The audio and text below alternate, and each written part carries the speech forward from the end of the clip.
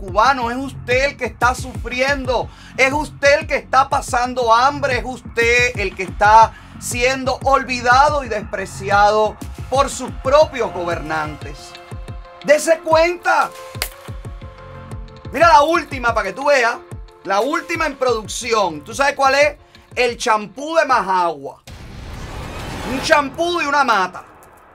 Entonces, el centro de eh, alimentos e investigación, centro de investigación de alimentos naturales y demás y demás y demás que trabajan con todo lo que tiene que ver con una botánica, lo que vendría a ser una botánica oficialista. Esto vendría a ser más o menos lo que te, te preparan el humiero para que te des el baño, para que te tomes el jarabe y qué sé yo. Esta gente estaban fabricando, como está la escasez tan grande de champú y jabón, estaban fabricando champú de majagua. Majagua una mata.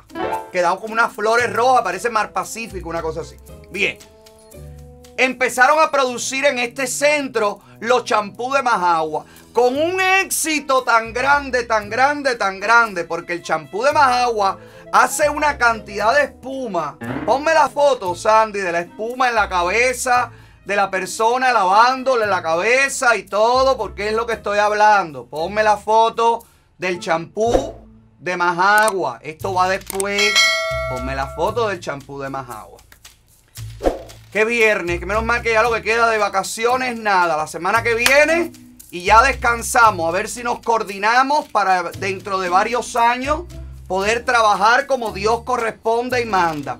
Bueno, pues esta gente del champú de Majagua Ahora que ya el champú es un éxito porque hace mucha espuma y es maravilloso, míralo aquí. Esto es lo más grande de la vida, ¿ok? Todos los champús deberían ser de más agua.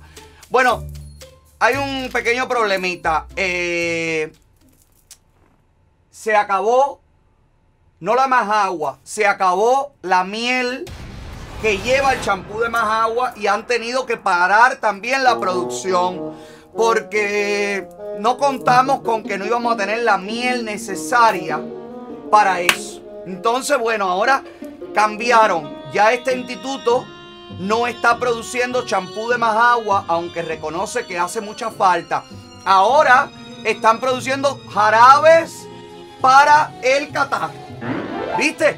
Es un jarabe que lo mismo, te puedes lavar la cabeza con él que te puedes tomar el jarabe como expectorante. Te sirve para todo. Qué grandes son los comunistas, caballero. Ay, Dios mío, y así dicen los demócratas. Y así dice Kamala. Y así dice Biden. Y así dice todo ello. Que eso es una cosa a imitar.